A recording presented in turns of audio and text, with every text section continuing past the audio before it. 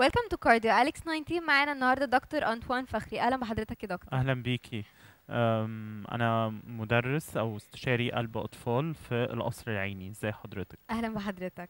أهلاً. سعداء جدا بوجود حضرتك معانا السنة دي Alex. اسعد حضرتك أول مرة تبقى معانا في المؤتمر أه لا دي مش أول مرة. دي رابع سنة أشارك ب talks في ال sessions بتاعت Cardio Alex و it's my pleasure بس دي أول مرة أبقى مع حضرتك آه، في في this TV program يعني. ده شرف ليا. آه، دكتور كنت عايزة أعرف إيه رأي حضرتك في المؤتمر السنة دي؟ آه، رأيي إنه دايما من نجاح لنجاح آه، it has a wonderful organization.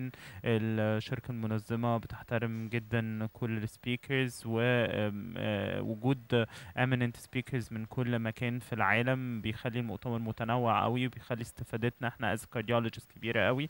و يعني يا رب من نجاح لنجاح. إن شاء الله يا دكتور. دكتور كنا عرفنا إن حضرتك عندك session فكنا عايزين. حضرتك تكلمنا عنها. بالظبط. إحنا كان ال session مهمة قوي من ال sessions اللي قدمناها في Cardio Alex السنة دي. هي session كانت headed ب أستاذتي دكتورة هالة حمزة عن إزاي القلب بيتأثر بالأمراض العامة اللي في الجسم اسمها heart and systemic diseases. يعني زي السكر الضغط آه، نقص الغدة الدرقية السرطانات بمختلف أنواعها.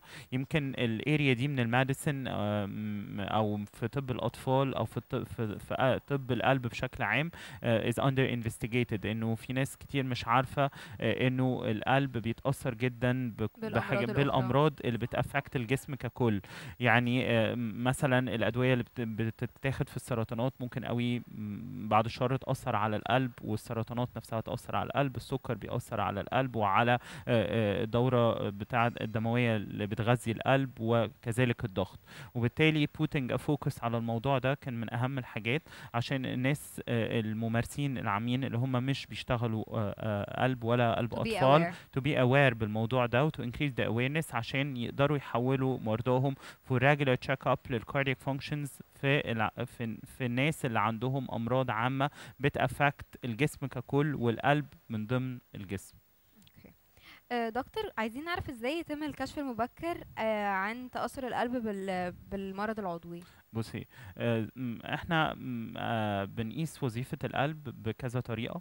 آه، كان لغاية من سنين فاتت يعني من خمس أو ست سنين فاتت كان بن rely بس على طرق conventional حاجة اسمها ال ejection fraction إن إحنا ناخد زي cut section من ال آه، من ال heart ونقيس آه، إزاي بي dilate وبي contract وعلى أساس كده نحسب حاجة بنسميها ال ejection fraction اللي هو كمية الدم اللي القلب بيضخه. مشكلة الطريقة دي إنها بت rely بس على قطعة من القلب يعني إحنا بناخد cut section ونقيس ال function فيه. فالطريقة دي من كتر ما هي بت rely على point من القلب ممكن ما تبقاش accurate لأن ممكن قوي المكان اللي متأثر في القلب يبقى بعيد عن ال point اللي أنا خدته وبالتالي ال detection ما يبقاش بدري.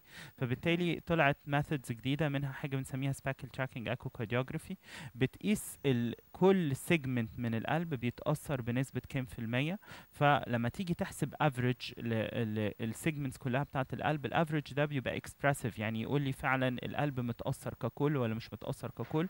وتم اعتماد الطريقة دي as standard method لقياس وظيفة القلب بالذات مثلا في المرضى اللي بياخدوا كيماوي في مستشفيات السرطان. ما بقاش الطريقة القديمة هي اللي بتستخدم. عشان كده برضو ال session دي كانت هدفها to increase the awareness about speckle tracking echocardiography as a م- مش بقى new method نقدر نقول a relatively new method لأن هي بقى لها كذا سنة.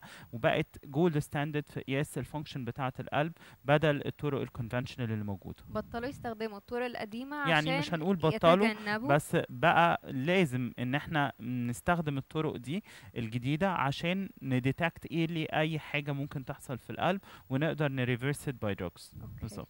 ميرسي جدا يا دكتور. سعداء جدا بوجود لحضرتك حضرتك معانا ميرسي جدا. شكرا جدا. اتشرفت.